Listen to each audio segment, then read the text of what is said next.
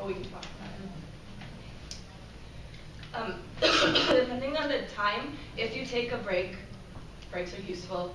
Um, it can be useful to ask people not to talk to each other during a break if you think that that will just build tension, just as like a tool.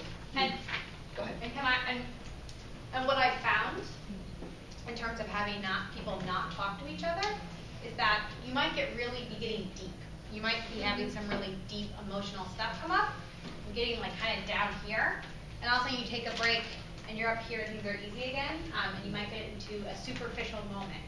Small talk, chat, um, and it can be something that we call, as you start to create false community, you don't want to actually deal with the work of creating real community, which is dealing with this hard stuff. So at times, it can actually make it harder to get back into that deeper space, where you're like, oh, we don't really need to deal with these big deal issues, because we can easily talk about the weather, right? And so that can be one reason why you might not want to talk, and that might make sense for your group, depending on the situation.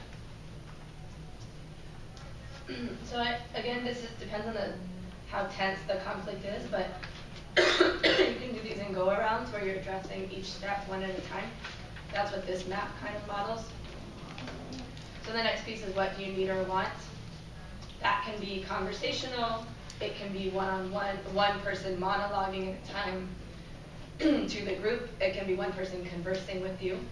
I'd say the tenser it is, the more helpful I find for one person to not monologue at me, but to have a dialogue with me, to converse with me. Because they don't actually know what it is exactly, they're not sure what's going on, they don't know yet, and I can sometimes just talk to them, help them figure it out.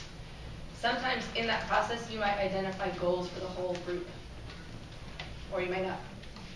Um, and then we do the what are you going to do about it piece. At the end, there can, there can be next steps. We're going to write a report and bring it back to the co-op. We're going to say, coming out of this, this group is mandating that we develop policies around these things. This group really, versus like, this group really wants to talk about this in the bigger group. You know, it can be whatever, however your co-op is um, set up your process around mediations. And also whatever that group needs. Yeah? Um, I'm not sure if this is appropriate,